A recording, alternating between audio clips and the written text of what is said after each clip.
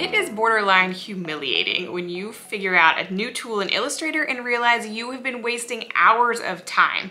That's how I felt when I figured out these five tools and now I cannot live without them. They save me so much time when I'm designing surface pattern designs or textile designs. So if you're interested in that kind of work, then stick around and I'll show you my favorite tools that I absolutely could not live without now.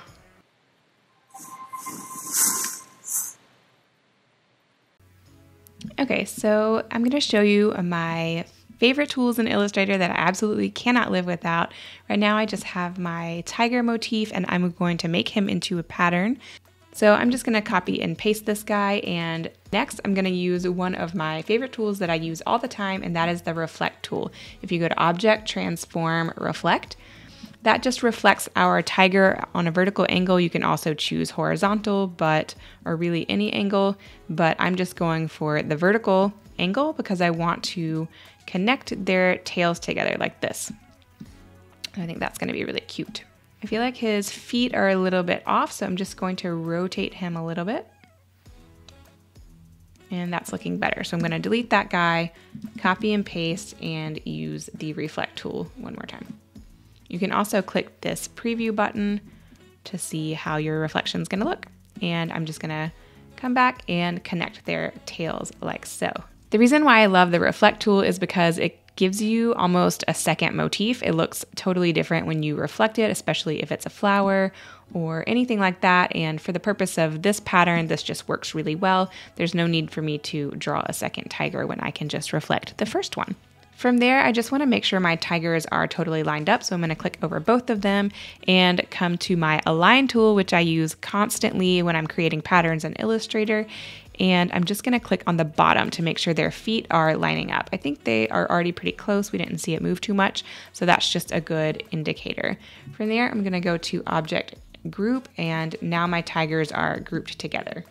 From there, I'm just going to go ahead and drag my tigers to the corner because I wanna make sure anything that's overlapping on the top and sides is going to be repeating on the other side. So I'm just gonna click on copy and paste, actually paste in place. So that's also Shift Command V on a Mac. And then I'm gonna go to another one of my absolutely favorite tools, which is the Move tool. From there, you're going to have to type in a little bit. I don't know why it gives you kind of some random measurements here, but we're going to type in 12, which is the same size as our artboard here. And for vertical, we're just going to click on zero because we don't want it to move up and down at all. So then we're just going to click OK. So now we know that these tigers are reflecting perfectly.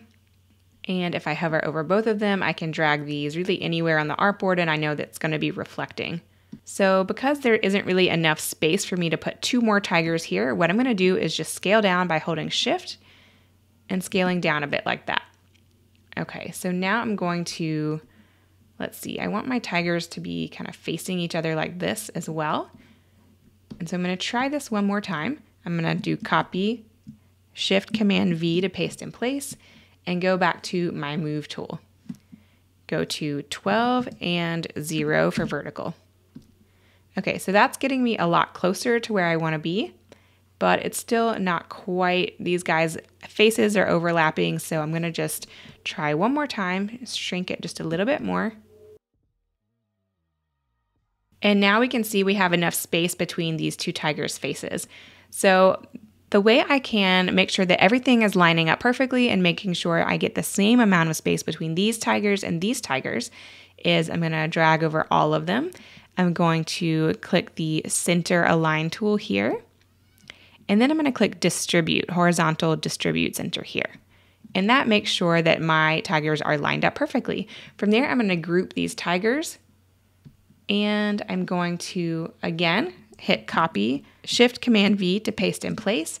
And now I'm going to move these tigers down to the bottom of the artboard. So instead of horizontally, I'm going to click zero for horizontal, and 12 for vertical. And that copies my whole row of tigers down here. And now I know that anything that's overlapping at the top is also lining up and overlapping at the bottom. Okay, so that's good because then I can also copy and paste. And because I know these are in repeat, anything that's getting cut off on this side is repeating over here. Okay, so from there, I'm just gonna line up my tigers a bit more. I think I want the one going this way to be on top of one going the opposite way, and for their tails to kind of line up here where the faces are.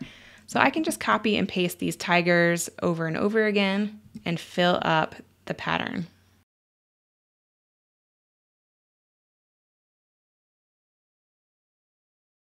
Okay, so from there, I'm going to drag over all of my tigers and just click on vertical distribute center.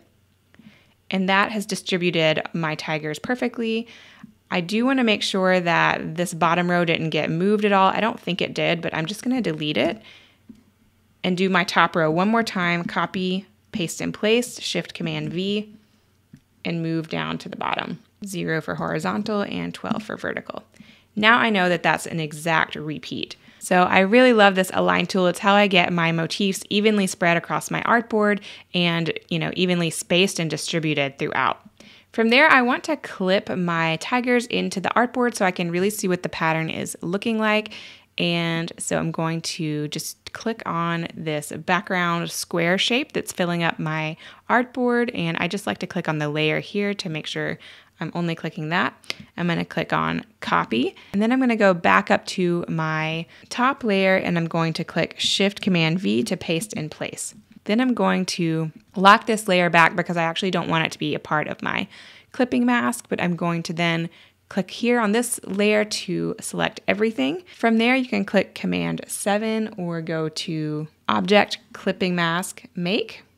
And our pattern gets clipped into our artboard so we can really see what the repeat pattern is looking like. Sometimes clipping masks can get a little bit funny to work with, and so what I like to do from there is to use the Pathfinder tool to really compress everything here and it really just cuts off everything that was extra. And so from there, I can go to my Pathfinder tool and click on merge.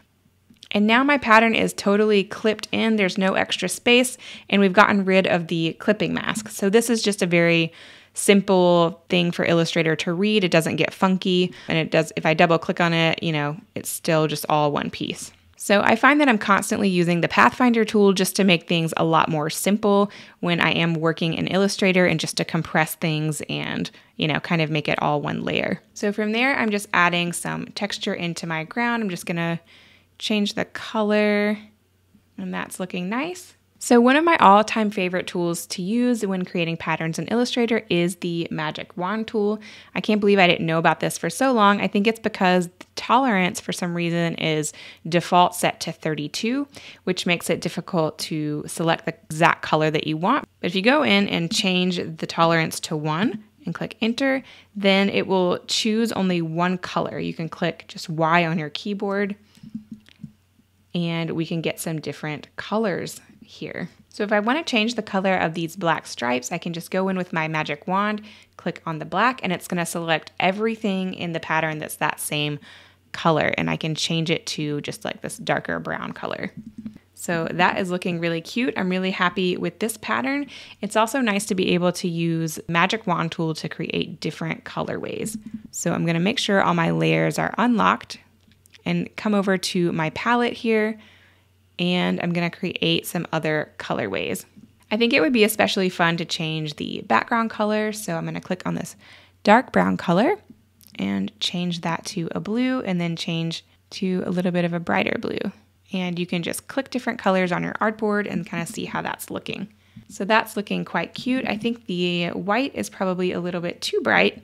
So I'm to change that to more of a cream. And that is looking really cute. So my friend Jen, who also has a YouTube channel, made a video doing all the same tips and tricks, but in Affinity Designer. Affinity Designer is another vector program, a lot like Illustrator. It is more basic, but you only have to pay a one-time fee, which is amazing. So if you want to download it on your iPad, it's about $18 at this time, so it could increase in the future. If you want to buy it for your computer, you can pay a one-time fee of, I think 60, no, $70 and if you want to bundle Affinity Designer with Affinity Photo, which is like Photoshop, it's only, I think, $165. So it could increase in the future. So I would recommend getting it sooner rather than later. I think I only paid about 20 bucks for each of the programs back in the day. Um, so that was a few years ago. So yeah, get it now before the price increases. but yeah, you can see all the same tips and tricks over on Jen's YouTube video. So go watch her video and then you can choose if you prefer to go with the Adobe subscription model or if you would rather just pay a one-time fee and use Affinity. These tools I absolutely could not live without. I hope they save you just as many hours as they've saved me and help to make your surface pattern design process a lot more seamless. Haha. Sorry, couldn't resist. All right, bye guys.